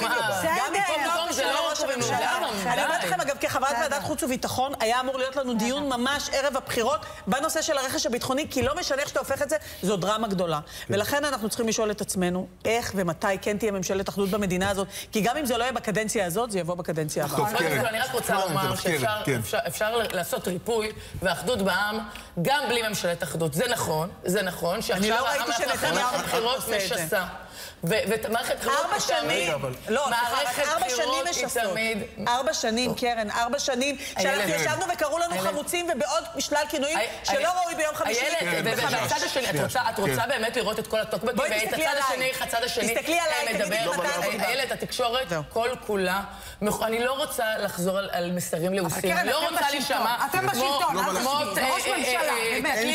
שבור, אבל התקשורת כל כולה בוודאי שלא הייתה לטובת, לא לטובת הליכוד, לא לטובת העומד בראשו. זה מה שבנה אותו. את חוזרת על דף המסרים של הליכוד. התפקיד, אני לוקחת את זה, והתפקיד עכשיו של ראש הממשלה עם הממשלה ועם מפלגת הליכוד הגדולה הזאת, באמת לאחוז את הקרעים האלה. הוא אמר והוא לא אמר את זה מהפה לחוץ. כן. הוא ראש הממשלה של כולם. את יודעת, ולכן, הליכוד של הערבים, הליכוד של הערבים הוא ראש ממשלה, של השמאלנים הוא ראש ממשלה. ודרך אגב, אה, הממשלה האחרונה נתנה הכי הרבה תקציבים לערבים, וניסתה לעשות את הכי הרבה. הוא ראש הממשלה. וייצגה את הציבור הזה יותר אפילו מנבחרי הציבור הערבים. חברת הכנסת קרן לעתיד, אני קוראת אותך רגע לסדר, אני רוצה לומר משהו. בתוך המסגרת הפוליטית שבה אנחנו נמצאים כרגע, את לא יכולה לשבת פה ולומר, יש דרכים אחרות לריפוי בחברה הישראלית. בואו נזכיר, וזו הייתה אחת הטענות המרכזיות שלנו בקמפיין שלנו בגשר. כבר עשר שנים הצד השני, פחות או יותר, יושב בחוץ. הוא למצער ארבע שנים יושב בחוץ. מי זה הצד השני? אז אני עושה ככה, הצד השני. אני אגיד לך מי הוא הצד השני כרגע. כרגע יש לנו פה מיליון אזרחים שבחרו בליכוד ומיליון שבחרו בכחול לבן. אז במובן הזה יש פה שני צדדים שחייבים לשבת יחד. אי אפשר להגיד להם, לדאוג לכם אפשר גם בדרכים אחרות. אני מסכימה עם זהבה שצריך לשמור חברה אזרחית יציבה וחזקה תמיד בחברה הישראלית. אני חלק ממנה ואני לא עזבתי אותה גם בתוך המהלך. המהלך הזה, אבל אני חושבת שהליכוד חייב, וראש הממשלה זה תפקידו, לאפשר את החיבור הזה דרך חיבור פוליטי, כי אנחנו באים עם כל כך הרבה כאב ופירוד בינינו. אבוי לנו, אבוי לנו, אם לא נדע עכשיו להפגין את המנהיגות הזאת. אבל אני רוצה... רגע, לא אכפת לי ממנו. לא אכפת לי איך אני... קרן, הוא לא ראש ממשלה. לפני שגנץ הרים טלפון אפילו לראש הממשלה. קודם כל נאום הסתה. קרן, בנימוסים והליכות, מה זה השטויות האלה? אבל זה כמו שאמרתי קודם, יש פה אבא של הדברים האלה, זה ראש הממשלה. הוא יש לו את הכוח, הוא לא יכול להתחיל להגיד, אתה אמרת לי ככה. אני מסכימה. בואו נצא מהפאזה הזאת, יש לנו ראש ממשלה שעומד כנראה להיות ראש הממשלה הבא, הוא חייב לעשות את זה בלי להתחשבן. את שומעת את הציבור שמסתובב בארץ שלא הצביע נתניהו, איך הוא מדבר את הטרמינולוגיה, תעזרי לו להבין, תעזרי לו לצאת מהמקום הזה. אני רוצה לעזור. ראש הממשלה צריך לעזור לו לצאת משם. ראש הממשלה צריך לדבר אליהם אחרת. אבל הוא ידבר אליהם אחרת, להם מדברים עליהם. הוא עשר שנים ראש ממשלה. בוא נרד מהארץ, הילדים שלנו. תעזבו את הבחירות, נגמרו הבחירות. אז מה? זה נורא בעיניי הדור הזה עושה לילדים שלו עם הדיבורים האלה. נגמרו הבחירות. שנייה, שנייה, חברים. אז מה? אני רוצה לשאול, האם מסכימים כולם שהכישלונות הגדולים של הבחירות האלה זה העבודה והציונות הדתית? תראה, על העבודה, קודם כל, אני רוצה להגיד, אני לא חבר עבודה, אף פעם לא הייתי חבר עבודה. כואב לי הלב על המפלגה הזאת. מפלגה שבנתה את המדינה הזאת, היא התרסקה בצורה כל כך נוראית. כן, אני רוצה לשאול דווקא על הציונות הדתית. דווקא הציונות הדתית זה כישלון אדיר שכמעט לא מדברים עליו. מאה אחוז, הציונות הדתית, אמרתי, יש צדק שמיימי בזה שהימין החדש נעלם. הם בעצם השתלטו למפלגה, שני חבר'ה צעירים, מוכשרים, השתלטו למפלגה. כבשו אותה, היה להם עשרה מנדטים. כן. והם החליטו פתאום, יום בהיר, החליטו, עלה להם זה לראש. כן. החליטו רגע, לעזוב. רגע, אבל למה אתה קורא לזה הציונות הדתית באופן נרחב? אני חושבת שזה לא הוגן. אני יכולה להגיד לך שהיו המון ציונות דתית, הייתה המון ציונות דתית שבאה לגשר. אני רוצה לומר שאין פה כישלון של הציונות הדתית. אבל כשאתה אומר ציונות דתית, אני חושבת שהציונות הדתית לא מוכנה יותר להיות מסוגלת. אז מה? לא מוכנה יותר להיות מסוגלת לקבוצה זה מאוד קיצוני. אגב, ציונות דתית זה לא מפלגה דתית. גם בליכוד יש הרבה ציונות דתית. רגע, מפלגה דתית... גם בעבודה. מפלגה דתית מחזיקה קבוצה, חלק מהאנשים הדתיים, לא כולם. אז צריך לסייג את זה. אני בטח מסייג. מה, אני מכיר את רוב... אז החלק הקיצוני שבה לא הצליח להיכנס לכנסת, חלקים הקיצוניים שלה. רוב המזרחים הם מסורתיים. לפחות מסורתיים. בוודאי. וחלקם רבים מהם דתיים. בסדר, היום יש גם בש"ס חרדים. והם לא במפלגה הדתית, בדיוק. רגע, מילה אחת אני רוצה לשאול אותך. רגע, אני אסיים את המשפט. יש צדק שמיימי בזה שהמפלגה הזאת, של הימין החדש, שעלה להם מה זה לראש, הכוח לראש, כן. והחליטו לעזוב את המפלגה הזו, לזרוק אותה לזבל, מה שנקרא, ולהשאיר אותם 30 מיליון שקל חובות, נעלמו מהמפה הפוליטית. אני חושב שזה ממש צדק היסטורי. אוקיי, תודה רבה לכולכם, אנחנו צריכים לסיים לא הספקנו לדבר על מנצח נוסף, שזה אריה דרעי וש"ס. לא, ופייגלין שבזבז 117 אלף קולות. יש שלושה שרים בדרך... יש שלושה שרים בדרך לכתב אישום. תודה רבה. השר דרעי, קואליציית חסינות. בוא, בשביל השבת, שבת שלום לא יהיה לא יהיה כתב אישום. תודה רבה לכולכם. שבת שלום. תודה רבה. שבת שלום. שבת שלום. תעשי השרה לעריכת דין. נסיים חיוך. עכשיו אנחנו רוצים... נדבר הרבה על פוליטיקה. תודה רבה ושבת שלום. שבת שלום. תודה רבה לכולכם. טוב, אנחנו רוצים לדבר עם אורלי אלקלעי, נכון? להבין מה קורה עם הרכבת, הרבה מאוד שביתות, ושום דבר לא נעשה. בדיוק עכשיו בחופשת... ממש, חופשת פסח התחילה. שלום אורלי. שלום, שלום לכם, שלום אורי, שלום. כן, אז נכון, חופשת הפסח החלה, אבל אתם יודעים מי משתמש בדרך כלל ברכבת ביום שישי? חיילים. החיילים, החיילים כן. שמבקשים להגיע סוף כל סוף הביתה לסוף שבוע, לאחר כאלו שגם 28 ימים לא ראו את הבית. אז uh, קצת לפני השעה שבע בבוקר מודיעה הנהלת הרכבת שתנועת הרכבות בכל רחבי הארץ נעצרת וזאת לאחר ששמונה פקדים, ואלו אותם מנהלי תנועה בפיקוד הרכבת הארצית, הודיעו שהם חולים. תשמעו, אנשים חולים. כן. עכשיו... זה משהו שחוזר על עצמו, העניין של המחלות ברכבת. זה לא רק שזה חוזר על עצמו, זה איזושהי שיטה שמישהו שם אה, תפס אותה, שמודיעים על מחלה, וחלק לא ענו בטלפון, וחלק אה, אה, אמרו שהם כבר הודיעו מזמן שהם חולים, זה לא משהו חדש. ומאחר ומדובר בנוהלי בטיחות, לא ניתן להפעיל את הרכבות. וההשבתה הזו נכנסה לתוקפה מאות אלפי נוסעים, ובעיקר החיילים, מי שציפה לחזור הביתה. 80 רכבות בוטלו. החיילים, אה, לא רק החיילים, גם הנוסעים אה, נאלצו להעביר שעות בדרכים כי כמות האוטובוסים פשוט לא יכלה להכיל את כל uh, כמות הנוסעים. ואז uh, סמוך, לאחר כשעתיים, תשע ורבע, מודיעים בהנהלת הרכבת שהם מצאו פקדים מחליפים ותנועת הרכבות תחודש, אבל הכאוס הזה ייקח לו בערך שעתיים עד שהוא יסתדר ועד שיוכלו להתחיל לשנע ולהניע את הרכבות כסדרן. וכמובן בהנהלת הרכבת אצבע מאשימה למי? ליושבת ראש הוועד, גילה אדראי, שהם אומרים זה צעד ארגוני, פראי, בלתי חוקי. יושב ראש ההסתדרות, ארנון בר דוד, מורה לוועד העובדים לאתר מיד עובדים שיגיעו למלא את התפקיד. מצאו את העובדים, המחלה הסתיימה, והם מגיעים לעבודה, אבל יושבת ראש uh, הוועד של עובדי הרכבת, גילה אדראי, מה היא? מפנה אצבע מאשימה למי? להנהלת הרכבת. היא אומרת, אל תאמינו למה שהם אומרים. הם האשמים. טוב. טוב, תודה רבה, אורלי. תודה. תודה, תודה. טוב, בואו אה, אה, נמשיך. אה, אה, נדבר על בחירות מכמה היבטים. עורך דין אה, גיל לברטון נמצא איתנו, שלום שלום. שלום, גל. גל. גל, אוקיי, גל. אה, טוב, אה, רוצים, אה, זה עלה בשיחה הקודמת, אוקיי? חוק החסינות וחוק הצרפתי ופסקת ההתגברות. בואו נעשה רגע סדר בעניין הזה. קודם כל ההבדל בין החוק הצרפתי לחוק החסינות. בוא נתחיל לדבר, קודם כל אני, ברשותך, אגיע מזווית אחרת. כל, כן. כל השיח הזה הוא ספין. Mm. כלומר, מבחינה משפטית אין לו, אין, שום, לו... אין, לו, אין לו התכנות, מבחינה משפטית. באמת? מבח... כן, מבחינה משפטית, לא. כל זמן... למה אין התכנות? לכל הדברים שציינתם, החוק הצרפתי, תיקון חוק החסינות, פסקת ההתגברות, אה, כל הדברים האלה. אבל ברגע שאנחנו דנים בהם, אנחנו נותנים איזושהי לגיטימציה. כל זמן שאנחנו מדינה דמוקרטית, כל זמן שאנחנו מדינת חוק, לדברים האלה אין התכנות. יש כאן רק שאלה אחת, האם שומרי הסף יגלו את עמוד השדרה הנדרש, יבצעו את תפקידם, בין אם זה היועץ המשפטי לממשלה, ובין אם... אה, אה, בית המשפט העליון כשבטו בבג"ץ, ככל שנגיע לכך. אני אמר כמה מילים על החקיקה הזאת, כן? כן? צריך בכלל להזכיר מהי מטרת החסינות. זה חוק החסינות, עם תיקון כזה ועם תיקון אחר. החסינות נועדה לאפשר לחבר כנסת, לראש ממשלה, לבצע תפקידו.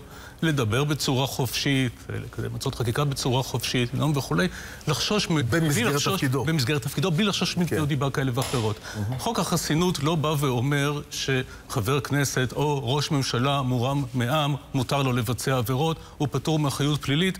לא, לא חוק החסינות. לא לזה התכוון. לא לזה התכוון. אתה, תקרא את החוק, החוק מדבר על זה בצורה כן. מפורשת בכל, ובכל צורה אחרת גם אי אפשר יהיה להגיע... להגיע לכל, לכל התוצאות האחרות.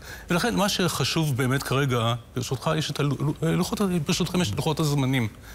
אני חושב שזו הייתה טעות, אגב, לענות לבקשת עורכי הדין של נתניהו ולדחות את מסירת חומרי הראיות לפני השימוע. אין חיה כזאת, מעולם לא הייתה חיה כזאת. השיקול לא היה שיקול משפטי, הוא היה שיקול פוליטי, ומנדלבליט לטעמי היה צריך... לדחות לאחרי הבחירות. כן, מנדלבליט לטעמי היה צריך לחסום... כי זה מאט את כל המהלך, זה מה שאתה אומר. זה גם לא היה ענייני, זה גם פוגע לטעמי גם בחשודים אחרים. כן. הרי מה יהיה עכשיו? עכשיו עורכי הדין של אה, נתניהו, ולדעתי זאת תהיה, זאת תהיה האסטרטגיה, ינסו לדחות ככל האפשר. לדחות ככל האפשר. כן. זו הייתה אחת הסיבות, פרט לכך שהוא לא רצה שחומרים... סביר להניח שעכשיו הם לא יצליחו לדחות. יודלפו, אני מניח שלא. אם את שואלת אותי, במדינה חוק מתוקנת, מדינה דמוקרטית, אני מקווה שאנחנו עדיין כזאת.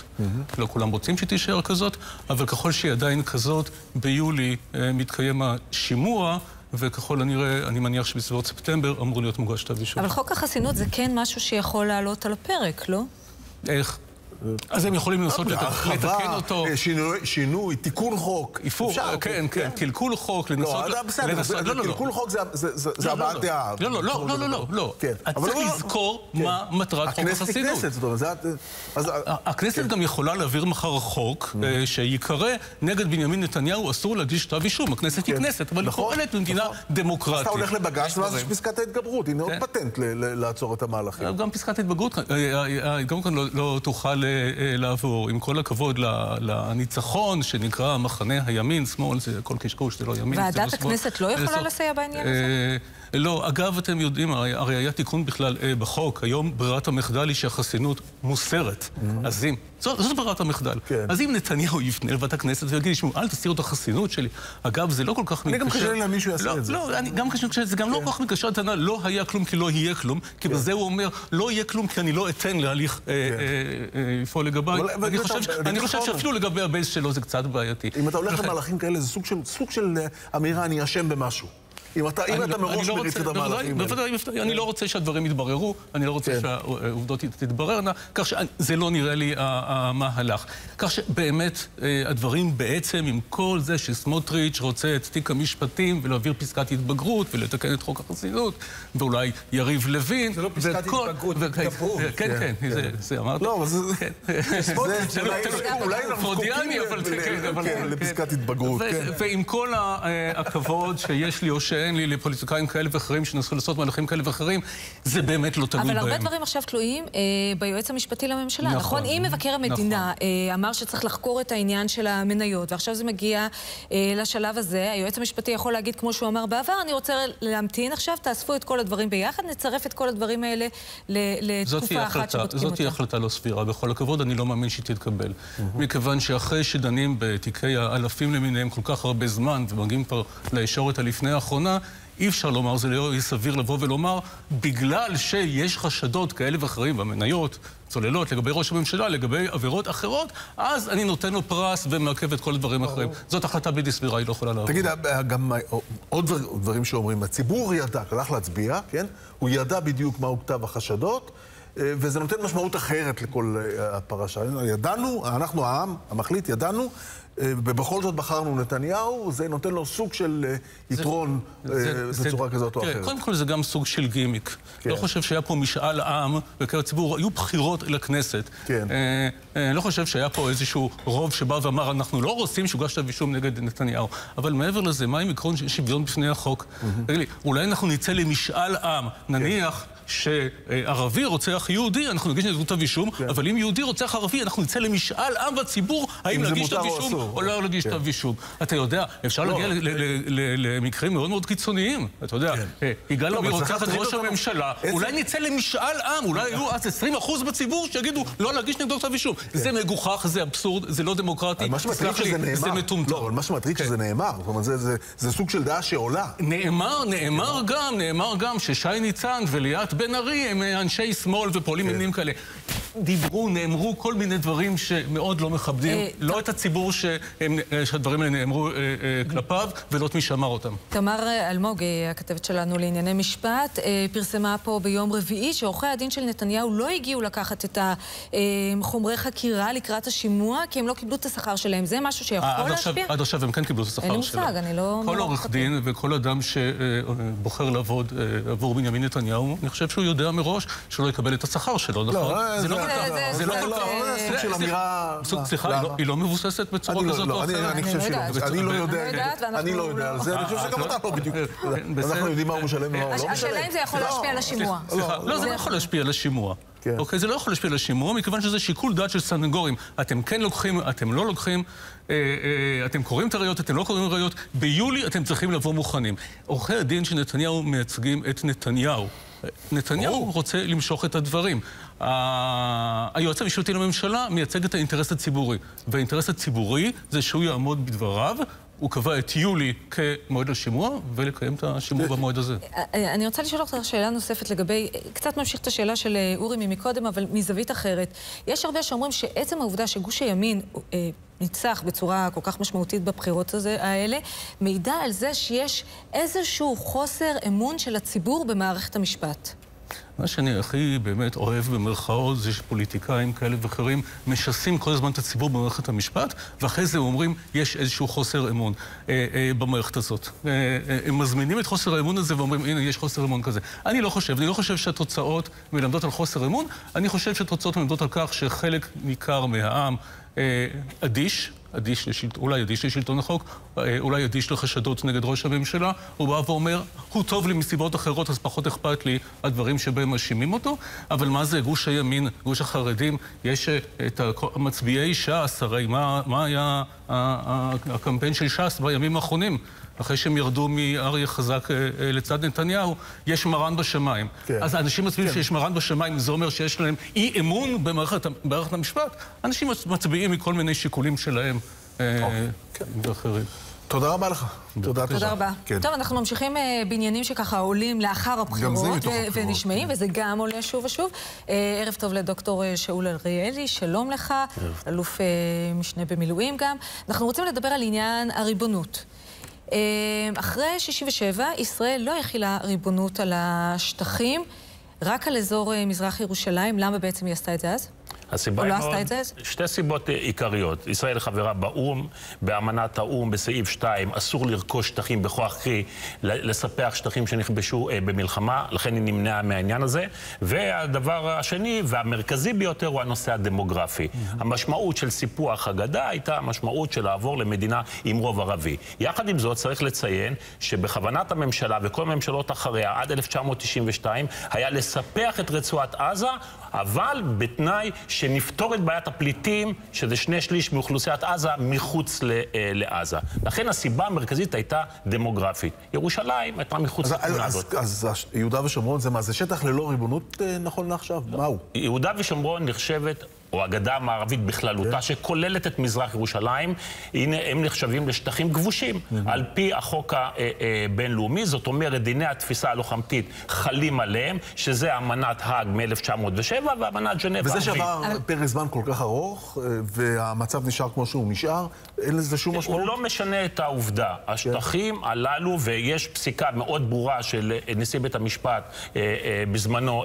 אהרן ברק, ב-2005, שאומר, ישראל לא הכילה את החוק על השטחים האלה, אין ריבונות ישראלית בשטחים הללו, ומה שחל שם זה בעצם דיני התפיסה הלוחמתית, קרי שטחים כבושים לכל דבר. אבל של מי הריבונות? של מי הריבונות? הריבונות של ירדן? אני אגיד לך, לא. בכלל לא. גם הכיבוש הירדני היה בעצם כיבוש שלא הוכר על ידי הקהילה הבינלאומית, למעט שלוש מדינות, פקיסטן, עיראק ובריטניה. ומבחינת הקהילה הבינלאומית, מעמד השטחים זה חלק מהמדינה הפלסטינית. להזכירכם, בנובמבר 2012, כ"ט בנובמבר 2012, האו"ם קיבל כן.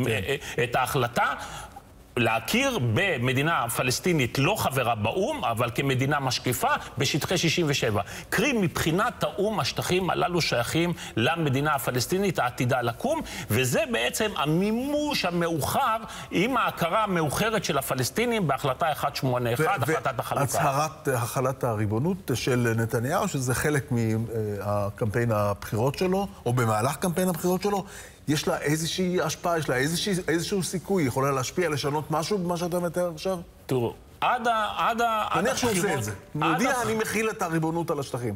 טוב, עד הבחירות, נתניהו הוא זה שבלם את כל הצעות החוק שהגיעו נכון, משדולת נכון. ארץ ישראל בראשותם של סמוטריץ וקיש. הוא אמר שאם רוצים להכיל את החוק, זו צריכה להיות החלטה של הממשלה ולא החלטה פרטית, ודבר שני, צריך לתאם את זה עם האמריקאים. לא נראה לי שהוא עשה את אחד מהדברים הללו ברגע שהוא יצא בקריאה אה, האחרונה במהלך הבחירות. אין שום משמעות מבחינת הקהילה הבינלאומית להחלת החוק על הישראלי על השטחים האלה. אף אחד לא יכיר בזה כמו שאף אחד לא הכיר בס... הסיפוח של מזרח ירושלים, לרבות לא אמריקאים. כולל הסיפוח של ירדן את האזורים האלה. ודאי, אף אחד... לזה הם התייחסו. אף אחד לא... אתה רואה שהאמריקאים לא הכירו בסיפוח של מזרח ירושלים? גם, למרות השגרירות... למרות, כן. למרות ההכרה היא ביחס לירושלים כבירת ישראל. אבל שים לב, גם כשהם דיברו על הפכת הקונסוליה לשגרירות, הם דאגו שזה לא יחרוג במילימטר כן. ממערב ירושלים למזרח ירושלים. לכן גם ההכרה הזאת היא יותר סמלית ואין בה משמעות. ולכן, לא משנה גם אם האמריקאים יכירו בזה, מבחינת הקהילה הבינלאומית, הדבר לא תופס יותר. יש את העניין שאמרת קודם לכן, שלא לא רצו לעשות את זה, גם בגלל מספר התושבים הפלסטינים שנמצאים uh, בשטחים האלה. מה קורה, uh, כן, מה קורה uh, מבחינת היישובים היהודיים? אם מחליטים בכל זאת לס, לספח רק את היישובים היהודיים, את, את, אזורי, את האזורים הגדולים של יישובים יהודיים, זה משהו... הגושים, כן. הגושים, כן, זה משהו שהוא אפשרי? המשמעות של סיפוח בעצם להחלת החוק על היישובים הישראלים, על הגושים, זה פחות או יותר סיפוח של שטחי C, שזה בערך 60 אחוז מהגדה. דבר כזה לא יכול לעבור. למש... לדבר הזה יש השלכות מאוד כבדות בכל הממדים. אנחנו לא יכולים לחלום על אפשרות שהרשות הפלסטינית תמשיך ותתקיים, ת...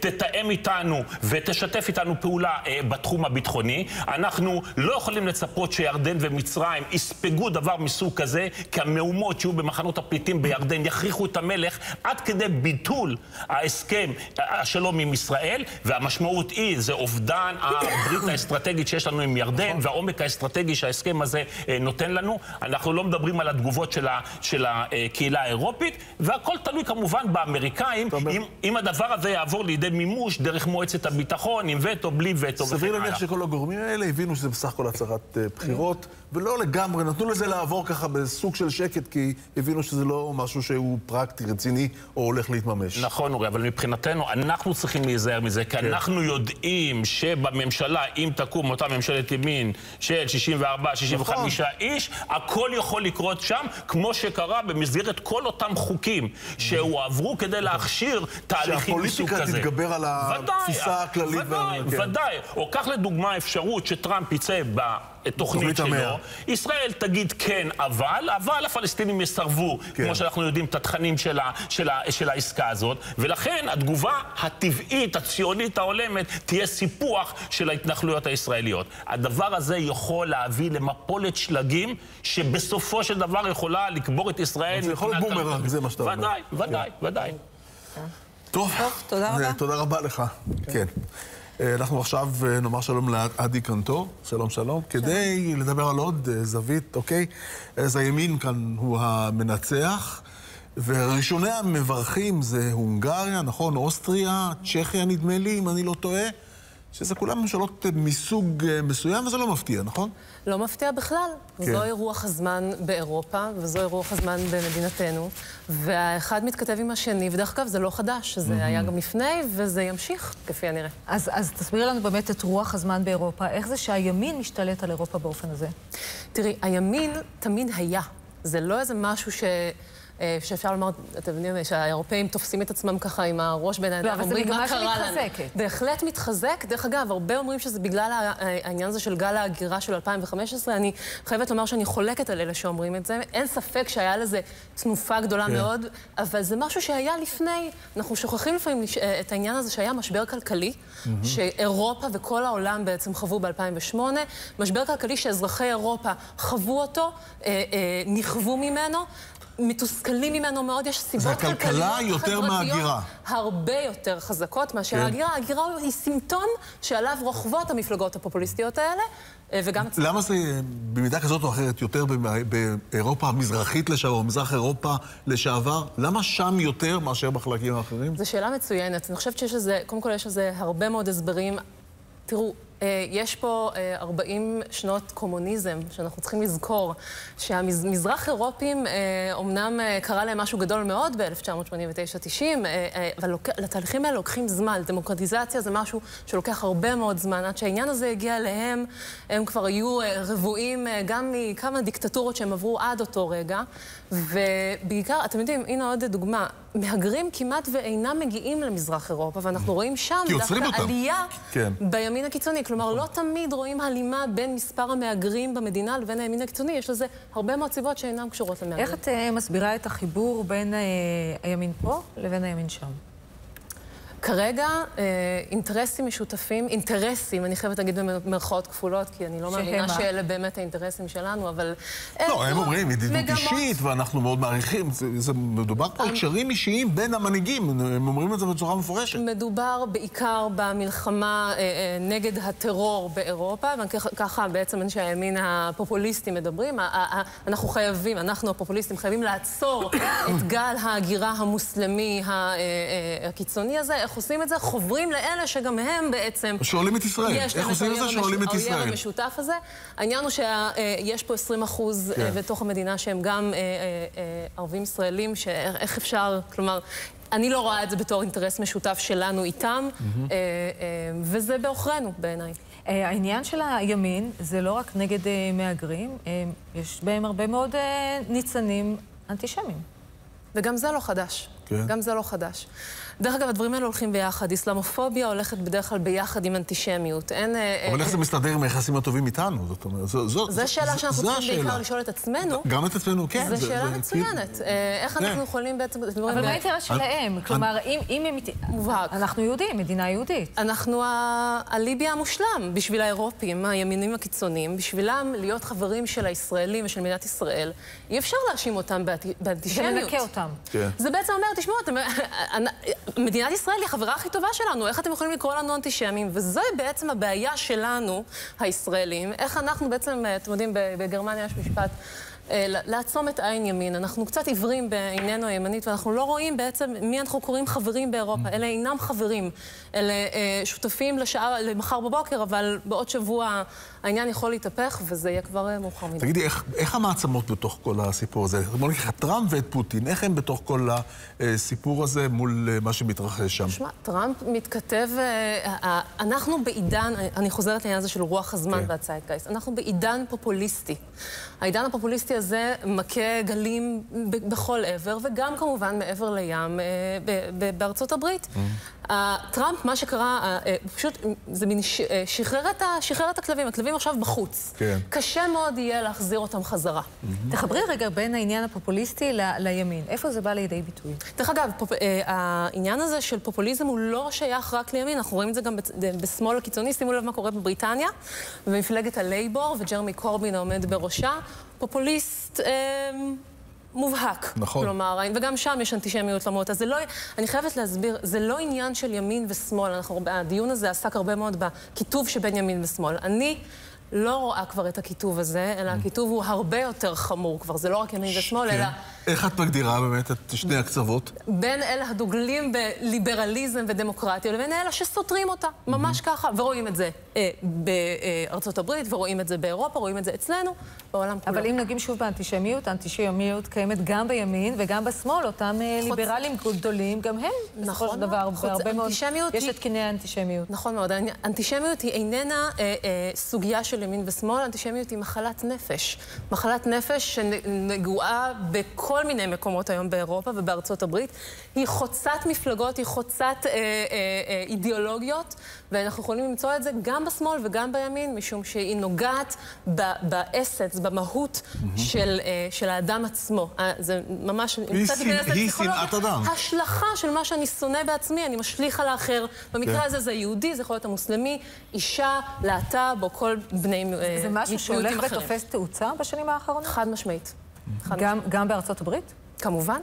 ראו uh, תופעת, uh, את מה שקרה בפיטסבורג, ויהודי ארצות הברית נכון. היום נמצאים במצב קשה מאוד, כי הם מבינים שזה נמצא גם במפלגה הדמוקרטית וגם במפלגה הרפובליקנית. יש פה משהו שהוא מעבר לימין ושמאל, והוא מדאיג מאוד. טוב, אנחנו מודים לך על השיחה הזאת. אני אה, לא מעודדת. לא, ממש לא. כן. טוב, עכשיו אנחנו רוצים להגיד אה, אה, ערב טוב לפרופסור יוסי שיין. הפעם פחות על כן. העניין הזה של... בדרך כלל מדברים על הדברים האלה איתך. רציתי להתפרץ לכל שיחה, אבל אמרתי, אני חייב לרסן את עצמי. נכון, נכון. אז אתה באמת הוצאת ספר חדש שמדבר על המאה הישראלית והישראליזציה. של היהדות. נכון. אמ, זה מורכב, תסביר. כן, כן. בכל מה שעסקו פה החברים האלה. ישראל משפיעה על היהדות? ישראל היא החזות הכל היום של היהדות עצמה.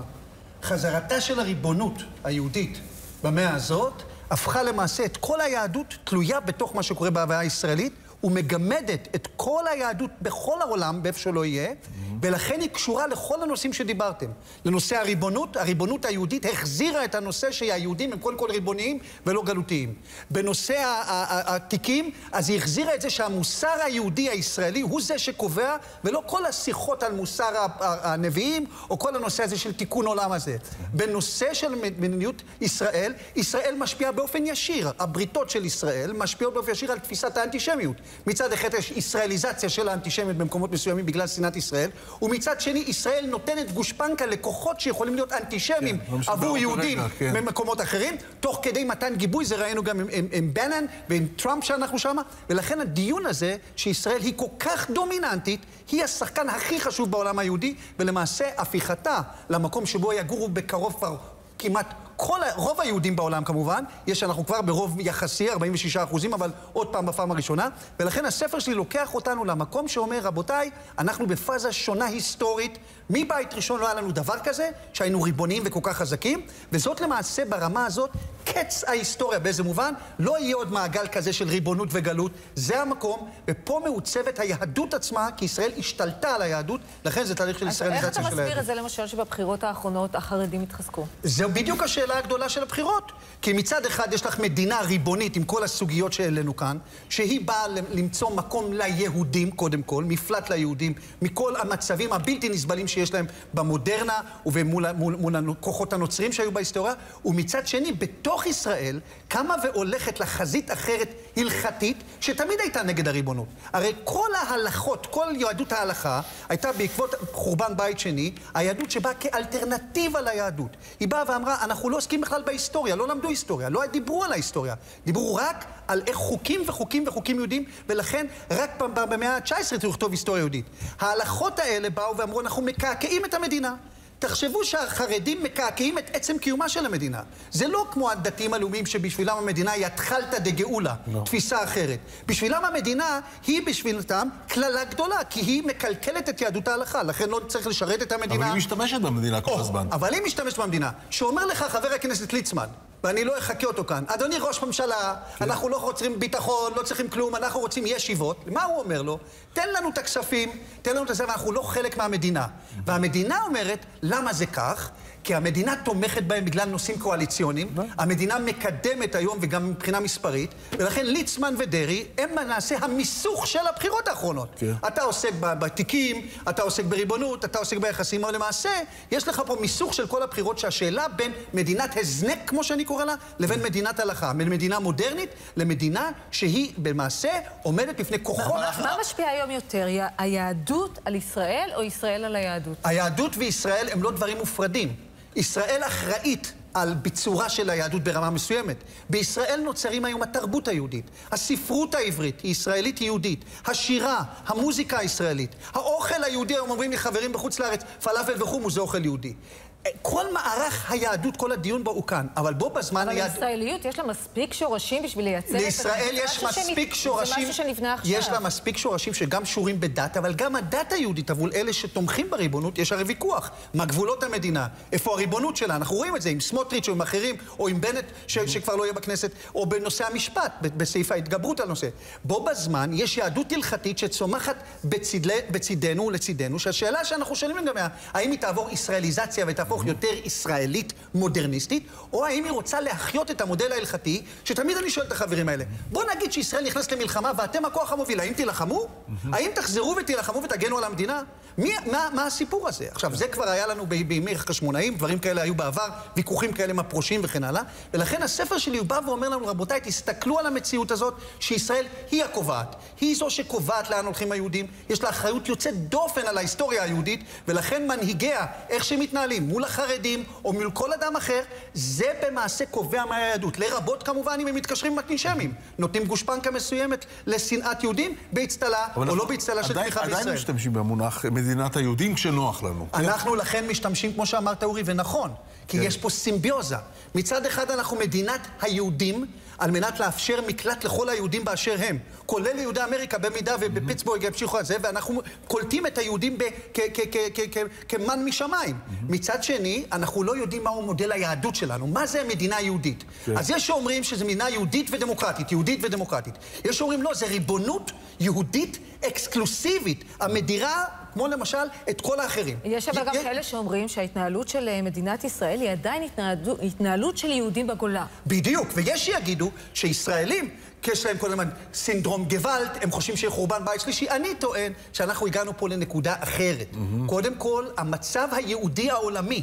שהוא היה מצב שנקרא לו מצב מאוד מאוד נפיץ תמיד. כאן תמיד שהיהודים היו במצב של שגשוג, אם זה בתור הזהב בספרד, נכון. אם זה... הם הפכו להיות מטרה. מטרה. כן. עכשיו, אמריקה הייתה צריכה להיות הגאולה, the golden המדינה, מדינת הזהב, כן. שם זה לא קורה. גם שם אבל זה קורה. ישראל היא הפתרון לכל הדבר הזה, ובו בזמן היא גם מעלה שאלות נוקבות, איך תיראה היהדות, כי היא אחראית על הדבר הזה. Mm-hmm. לא בכדי אתם לא מכירים, כל אחד יישב פה ויגיד לי, מי זה מנהיג יהודי בעולם? אחד. כן. תנו לי, כשאני יושב עם ידידה אמריקאית, אומרת, תגידו לי מנהיג יהודי אחד בעולם. כולם מכירים את הפוליטיקה הישראלית. כן. תנו לי סופרים יהודים, לא שהם יהודים, כן. ספרות יהודית, כן. תרבות יהודית. כן. הכל נוצר פה, לכן האחריות היא עצומה. Mm-hmm. זה בצרפת שראינו מה שקורה, הישראליזציה של היהדות, באנגליה עם קורבן. אני, אני הסתובבתי וחקרתי כן. בכל המקומות האלה, שנים ישבתי שם, להראות את הדינמיקה הזאת שקורה קורית מצד אחד. עכשיו, זה לא קריאה לניצחון ישראלי, למרות שזה ניצחון פנומנלי של הלאומיות היהודית, אבל זו גם אחריות יוצאת דופן, ושאלת החרדים שעסקתם בה, וזו שאלה, כמו שאתה אמרת, זה לא עניין של גוש, זה שאלה איך תיראה המדינה הזאת. כן. איך אנחנו רוצים שהיא תיראה, כי היא מקרינה על היהודים ועל היהדות לאורך הדורות. טוב, בהצלחה עם הספר. המון תודה. ותודה רבה על השיחה המעניינת הזאת. תודה כן. רבה לכל מי שהיה איתנו כאן באולפן. טוב, נצא עכשיו, אה, נראה כתבה שלך בעצם, שהכנת כן, בערב הבחירות, נכון? בהיוודע התוצאות, זה מתרחש במטה אה, הליכוד, הלילה הגדול של בנימין אה, נתניהו. אחר כך נמשיך, הנה.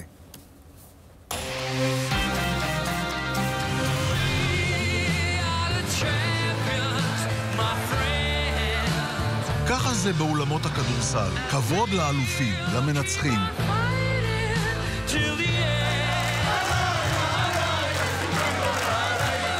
כמו תמיד במעמד הזה, רעייתו בהרכב. אין גביע, הפרס הוא מנדטי, הרבה מנדטים. לפני 23 שנים, זו הייתה הפעם הראשונה ששרה ואני עמדנו כך.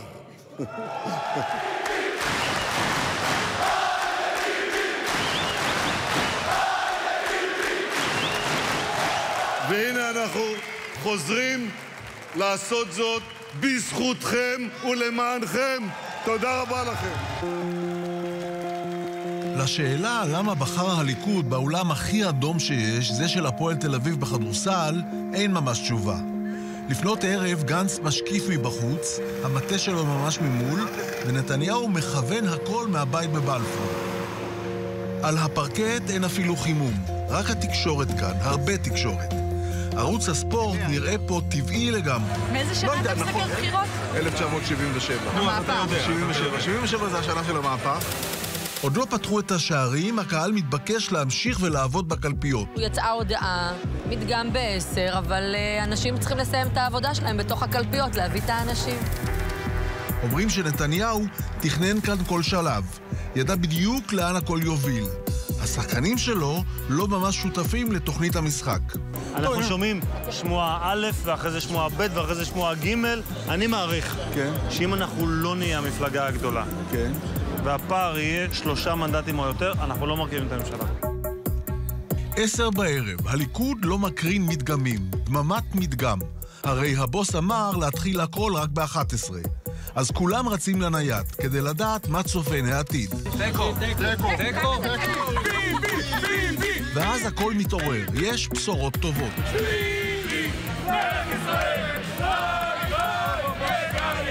זה בדיוק הלילה והבוקר, נבדוק כבר את הסגירות הראשוניות, שהמחשבה העיקרית צריכה להיות לא רק איך מנצחים, אלא איך שולטים.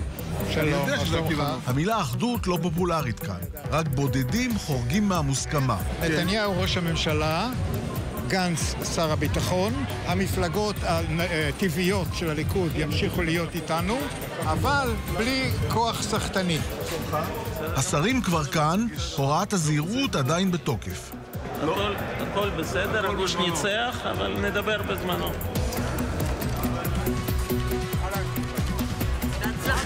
לשר החוץ הבא. מה שלומך אתה? בסדר גמור, בסדר גמור. אתם מרגישים ניצחון. מה? אתם מרגישים ניצחון? אנחנו... אני עוד מעט אתראיין, אני לא... איפה הדוברת שלי? בוא נעשה לפי סדר. יש אנשים שמותר להם לדבר בלי דוברת, אתה יודע. לא, קיבלנו הבעת אמון נרחבת כליכוד, וגם ראש הממשלה. אצל גנץ כבר רוקדים ושרים וזה... בסדר, מה נשאר להם לעשות? שלא, ארבע שנים הם ירקדו עכשיו. שירקדו. אומרים שנתניהו בדרך הקשיב לנאום הניצחון של גנץ ויש לו כמה הערות. הכניסה, כמו תמיד, רבת רושם. הורדת כובע קולקטיבית, הערצה מוחלטת, הכרה בעובדה, הוא ורק הוא יודע לנצח. כמה חדשים יש לנו! זה יוצא מן הכלל. זה לילה של ניצחון אדיר, אדיר. מול תקשורת מגויסת, בתנאים בלתי אפשריים, והליכוד גדל באופן דרמטי. נתניהו נותן הופעה אופיינית, שולט בקהל, פרק אחרי פרק, משאיר מקום לקריאות ההכתרה. טוב, אני לא אפריע לצעקות, היידה שרה! היידה שרה! נרגש במיוחד, הוא מדבר על המשפחה. אני מבקש להודות לרעייתי האהובה שרה ולבניי האהובים יאיר ואבנר. אני מבקש לומר למשפחתי כמה סבל עברתם, כמה חצי רשע ורוע ספגתם, רק בגלל שאתם המשפחה האוהבת והתומכת שלי. אתם המשענת של חיי. המשענת של חיי.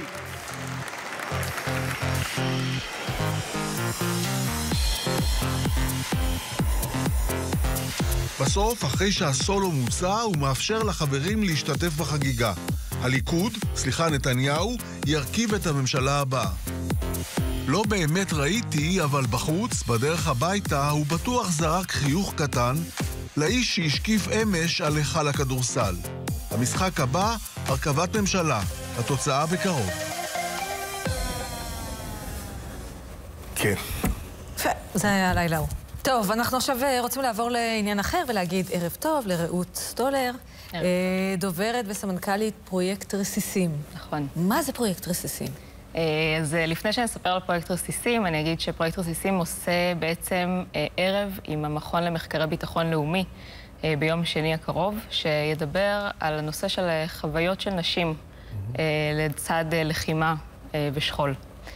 פרויקט רסיסים קם לאחר מלחמת, מלחמת לבנון השנייה, כשהבנו שכשאנחנו חוזרים משדה הקרב ומהמלחמה, לא תמיד יש לגיטימציה לדבר על מה שעברנו. לא תמיד יש קשב ציבורי, יש את יום הזיכרון, שבעוד חודש כל מדינת, תתכנס, מדינת ישראל תתכנס סביבו, והקשב הוא בעיקר שם. את אומרת שזה ערב שמתייחס לנשים? לנשים נכון. עוד פחות מקשיבים? לנשים עוד פחות מקשיבים, בוודאי במהלך השנה. זאת אומרת, אנחנו מדברים על נשים שהיו בשדה הקרב, על נשים שאלמנות, חברות ללא טבעת, מה שאנחנו מכירים, אחיות שכולות. לא תמיד החברה הישראלית רוצה לשמוע את הכאב שלהן. תגידי, את בעצמך עברת סוג של חוויה כזאת, נכון? כן, אני שירתתי ביחידת אגוז במלחמת לבנון השנייה, שבעצם איבדנו שם חמישה חברים במלחמה עצמה, ואני כמש"קית חינוך הייתי צריכה לעשות את מסעות ההלוויות. בעצם חמש הלוויות ב-48 שעות. וחזרתי משם, הימים, המלחמה נגמרת, ואנחנו לא מדברות על מה שעברנו. ועל הצד השני של שטחי הכינוס, כי חזרנו בחיים, ומלחמה זה גם משהו שאתה מרגיש הרבה פעמים זכות להיות חלק ממנו. והחוויות משפיעות ונותנות אותותיהן, ואין שיח. איך זה נתן? ולא רק שאין שיח, גם אין קשב, אני יכולה להגיד. אבל איך הרגשת את זה בעצמך? אני חושבת שזה הרבה סטרס בימים שאחרי. זה כל מיני סממנים ש... אני לא רוצה להשתמש במושגים טיפולים, אבל זה כל מיני סממנים שאנחנו מרגישים שאנחנו לא אותו דבר, ואנחנו לא כתמול שלשום.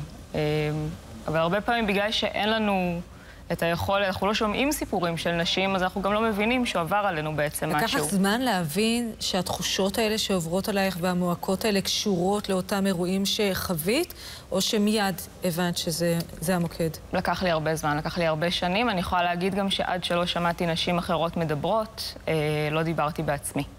וזה בעצם מה שפרויקט רסיסים מבקש לעשות. אנחנו מבקשים לתת במה ולייצר אירועי תוכן. שבהם גם נשים, גם גברים, בעצם מנעד רחב של חוויות קרב ולחימה, מהפוסט-טראומה הקלינית המוכרת ועד לחוויה השקופה יותר, אנשים בעצם ידברו על זה, ויהיה קשב, וככל שנקשיב לאנשים שכמונו, נבין גם מה אנחנו עברנו. זה סוג של בקשת עזרה ממקום שלא קיבל עזרה, זה מה שאת אומרת? בין השאר, כן, כן. ציינת אחיות. נכון. עכשיו, אני חושבת... יש היום הרבה יותר מודעות לעניין של כל התא המשפחתי, נכון? ב ביחס לשכול. אם בעבר התייחסו יותר להורים, היום מבינים שצריך להתייחס גם לאחים והאחיות. למה את מתייחסת לאחיות ספציפית? אליהן בגלל שהן אה, נשים מתייחסים אחרת? קודם כל, הזכרתי אחיות, אבל צריך לומר שאנחנו מתייחסים, אה, למעט אלמנות, אז באמת על חברות. נשים, חברות של, נשים של... אה, השיח שאנחנו בעיקר מכירים בחברה הישראלית זה באמת השיח של האם. העברייה. זאת אומרת, זה בעיקר מה שאנחנו גם מדברים עליו ביום הזיכרון. פחות יש קשב, ואנחנו גם לא תמיד רוצים לשמוע את הסיפור של מי שנש... שהייתה שם ליד ונשארה עם הכאב, והיא לא האם. אז גם, זאת אומרת, גם אחיות נכנסות בתוך השיח הזה. הספר בקולן של רות שפירא, שבעצם הוא הסיבה שבגללו כל הערב הזה ביום שני הולך להתקיים, מביא את הסיפורים של נשים של, של יתומות, של אחיות ושל נשים שהיו ממש בשדה הקרב. אבל איך אפשר להכין להתמודד עם טראומות מהסוג הזה? איך, מה מכינים? מה צריך לעשות כדי להיות מוכנים לסוג כזו של טראומה? תראה, אני חושבת שאין, אין, כל אחד, זה מאוד אינדיבידואלי, ואני לא חושבת שאפשר להתכונן לשכול, ואני לא חושבת שאפשר להתכונן למלחמה. אני חושבת... גם אף אחד לא רוצה להתכונן לזה. ואף אחד לא רוצה להתכונן לזה, אנחנו רוצים להתכונן לחוויות שהן נורמליות ולא לחוויות שהן... הן לא נורמליות. איזה סוג של עזרה את היית רוצה לקבל אז? אני יודע שזה מבט לאחור, אבל איזה סוג של עזרה היית רוצה לקבל אז? תראה, אני יכולה להגיד לך שאני אדבר בתור מי שחוותה את החוויות שלה אה, כחיילת בצבא. אה, אנחנו מבינים שהצבא ימשיך להיות והצבא ימשיך להתקיים וכולנו נמשיך לשרת ולחוות חוויות. אה, השאלה היא האם אנחנו שואלים את עצמנו מה שלומנו. כן. האם מפקד, כשנגמר מבצע, שואל רק מאיפה הגיע ונכנס הכדור בתחקיר, או שהוא גם שואל... את הצוות שלו, כן. מה שלמה. את אומרת, אם התחקיר הוא, האם הוא רק צבאי? נכון, האם יש שיח לגיטימי באמת לדבר גם להבין שעברנו כאן אירוע. אבל גם הרבה פעמים הדברים האלה לוקח זמן עד שהם מחלחלים, גם ההבנה של מה שהיה, כלומר, גם, גם אם הדברים נשאלים מיד אחרי, כן. לא תמיד זה מספיק, לא? אה, קודם כל, כן, הם מחלחלים, וזה באמת המקום שלנו כחברה, וכאן גם בוואקום הזה נכנס באמת פרויקט רסיסים, זאת אומרת, מתוך ההבנה שגם עשר שנים אחרי משהו יכול לצוץ ומשהו יכול לחלחל, ואז אם אני כבר לא עם הצוות שלי, ואם אני לא עם האנשים שלך איתם, עם מי אני מדבר? ואיפה אני בעצם מוצא קשב, ואיפה אני בעצם מוצא את הבמה הנכונה לשוחח עם אנשים. אבל אה, אין ספק שאנחנו צריכים לדעת ללמוד, אה, לשאול את עצמנו מה שלומנו כשאנחנו חוזרים משדה הקרב. טוב, תודה רבה לך על השיחה הזאת. תודה אה, רבה. ועכשיו, טוב, זה מעבר חד, נכון? לא כל כך, לא כן, זה עדיין כפסיכולוגית. דוקטור איריס רייסס. פסיכולוגית קלינית. פסיכולוגית קלינית, כן, שנמצאת איתנו, ועכשיו תגידי מה שרצית להגיד. אני רוצה להגיד שבאמת, כמו שאת אומרת, אנחנו לא יכולים למנוע מראש את הטראומה. ואנחנו גם לא יודעים לצפות אותה. נכון. אבל כן הדבר שעליו את... לא, אנחנו יכולים לדעת שהיא הולכת לקרות. אנחנו לא יודעים. לא, לא אנחנו אישית. לא, הסיפור אנחנו כחברה. כחברה, כן, אבל אני חושבת שאת מדברת על הפרטים, ואני אגיד שאנחנו לא יודעים מי יחווה את אותה חוויה בצורה טראומטית קשה יותר או פחות. אבל מה שיכול למנוע או להקל או למזער את הפוסט-טראומה זה הדיבור המיידי על זה, ועל נכון. זה את מדברת. כן. העניין שכשאתה חוזר ממקום, אתה רוצה לשכוח ואתה מדחיק את זה, נכון. ומה קורה כאשר אתה כן שואלים אותך מה שלומך, כן רוצים לדעת מה קורה, והולכים על זה פרט אחרי פרט, והרבה פעמים זה מקל ומנקה, ובאופן פרדוקסלי זה גם מחבר אותנו לאייטם. כן, אז אנחנו, אנחנו עכשיו בענייני פסח. כן. אה, נכון, אנחנו מתקרבים ומנקים ומסדרים את הבית, ואני מבחינתי כל הזמן אומרת לילדים, אני רוצה שקיות של זבל שיצאו מפה כמה שיותר, אבל זה לא עובד אצל כולם, נכון? יש אנשים שיותר קשה להם להיפרד מהדברים, והם אוגרים את הדברים. כן. אם אנחנו רוצים ללכת לחלק הפתולוגי של הדבר, אז אגרנות היא אחד הדברים הקשים. אבל אם נשאר רגע בדבר שאת אומרת, זה שאת רוצה כמה שיותר שקיות זבל, את עושה נכון. הנה הניתוח. הנה הניתוח. נכון, שרון.